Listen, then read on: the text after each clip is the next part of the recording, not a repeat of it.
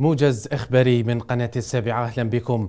بداية إذا وافق مجلس الوزراء الإماراتي اليوم الاثنين على استحداث تأشيرة سياحية متعددة الدخول لمدة خمس سنوات لكافة الجنسيات.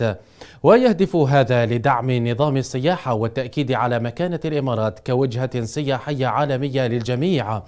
هذا وترأس الشيخ محمد بن راشد نائب رئيس الإمارات رئيس مجلس الوزراء حاكم دبي الاجتماع الأول لمجلس الوزراء في عام 2020 ووفقا لما نشره في تغريدة عبر حسابه على تويتر مؤكدا عبرها أن عام 2020 سيكون عاما مختلف.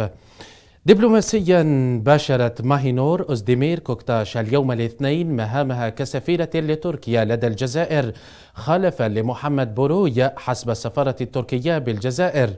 هذا واستقبل وزير الخارجية الجزائري صبري بقدوم أمس الأحد. ماهينور أوزديمير كوكتاش التي سلمته أوراق اعتمادها كسفيرة جديدة وتأتي مباشرتها لمهام منصبها بالتزامن مع الزيارة التي يجريها وزير الخارجية التركي إلى الجزائر اليوم. إلى شأن المحلي حيث أصدرت محكمة بيرموراد رايس بالعاصمة اليوم الاثنين حكما بالسجن النافذ سنتين وغرامة مالية قدرها 500 ألف دينار ضد عبد سمار صاحب موقع Algérie Part كما أصدرت نفس المحكمة في نفس القضية حكما مماثلا بالسجن النافذ سنتين وغرامة مالية قدرت بخمسين مليون سنتيم ضد المدعو مروان بودياب.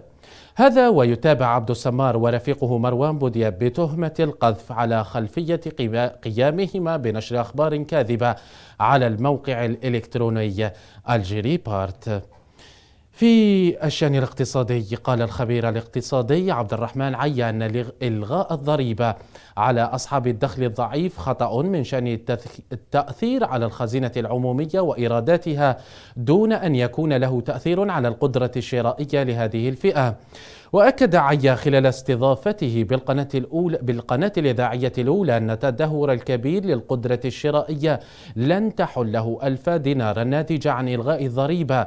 داعيا في هذا السياق إلى ضرورة رفع مستوى التحصيل الضريبي العادي ورقمنة القطاع وإخراجه من فوضى البيروقراطية ومشددا على ضرورة إعادة النظر في الأجور لفئات كثيرة من المجتمع. نهاية الموجز في أمان الله.